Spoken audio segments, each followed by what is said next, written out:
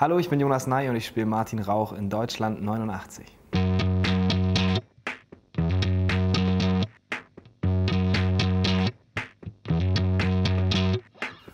Also wir treffen Martin Rauch jetzt wieder in seiner Heimat an. Er ist ähm, in der DDR in Ostberlin mit seinem Sohn zusammen, der mittlerweile sechs Jahre alt ist, Max. Martin ist alleinerziehender Vater. Die Mutter von Max ist mittlerweile beim KGB in Moskau. Und Finale. Und. Sehr gut. Und das ist letztlich eigentlich der Moment, wo wir jetzt wieder ähm, beginnen. Äh, Lenora sitzt im Gefängnis. Und die große Frage, die sich stellt, ist natürlich, werden die sich wieder begegnen und ähm, wie wird das wohl?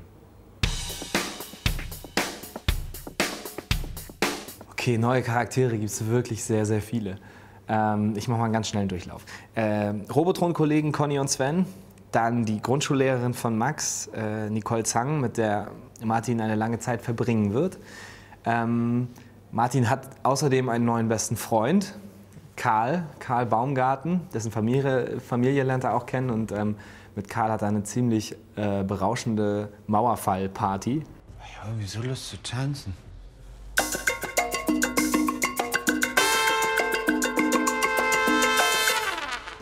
Nichtsdestotrotz werden wir natürlich so einige von den Charakteren, die wir so lieben gelernt haben, in 83 und 86 auch hier wieder am Start haben.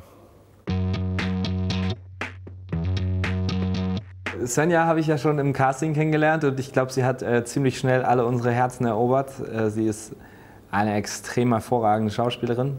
Sie ist äh, sehr, sehr intuitiv und sehr frei in ihrem Spiel und es hat einen wahnsinnigen Spaß gemacht, mit ihr zu spielen. Ähm, gestern Abend, das war, das war unerwartet. Sie, Sie waren emotional. Da ist irgendwie mit mir. Ich, Ich mag das. Ach so. Ja, dann. Und ansonsten ist Sven ja auch einfach so eine unfassbar lustige Persönlichkeit, dass ich echt sagen muss, dass bei einem halben Jahr, was man so miteinander arbeitet, Sven ja auf jeden Fall auch mein äh, lustigster Part an meiner Seite war, also auch jenseits der Szenen. Also äh, kann ich jedem meiner Kollegen nur empfehlen, mal mit ihr zu arbeiten. Es macht äh, enorm Spaß. Deutschland 83 ist halt auf jeden Fall eine sehr, sehr, ähm, eine sehr einzigartige Serie gewesen, schon damals. Also ich kenne jetzt tatsächlich kein vergleichbares Format, auch keinen vergleichbaren Blickwinkel. Dieser junge Stasi-Spion irgendwie auf den Kalten Krieg und ähm, ich glaube, dass das einfach, ähm, äh, ich persönlich bin ja jetzt auch Serienliebhaber so, und ich suche auch immer nach so ganz ähm, originellen Stoffen irgendwie. Ich mag das, wenn ich was sehe, wo ich denke, okay, das habe ich nicht schon, das ist kein Format, was ich irgendwie in tausend Farben schon gesehen habe, sondern es ist neu. Und Deutschland 83 war tatsächlich in, auf vielen Ebenen in seiner Machart was komplett Neues. Und ich glaube, dass das auf jeden Fall so seinen, seinen Beitrag geleistet hat dazu, dass es so erfolgreich war. Also für mich persönlich ist, glaube ich, das Jahr 89 und der Mauerfall sowas, ähm, was so völlig alleinstehend in seiner, vielleicht auch in seiner Symbolkraft ist. Ich finde es immer noch unbegreiflich oder, oder, oder, oder, oder beispiellos, wie es tatsächlich ein Volk geschafft hat, komplett ohne Gewalt so ein ähm, autoritäres Regime zu stürzen.